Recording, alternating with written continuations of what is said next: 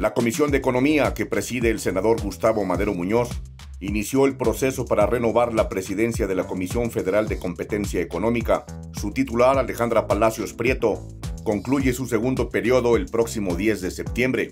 Comparecieron Alejandro Falla Rodríguez, José Eduardo Mendoza Contreras y Ana María Recendis Mora, comisionados que manifestaron su interés en participar en la elección.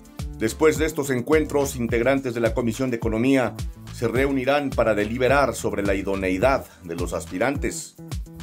La resolución se remitirá a la Junta de Coordinación Política para que determine lo conducente y se tramite en el Pleno de la Cámara de Senadores.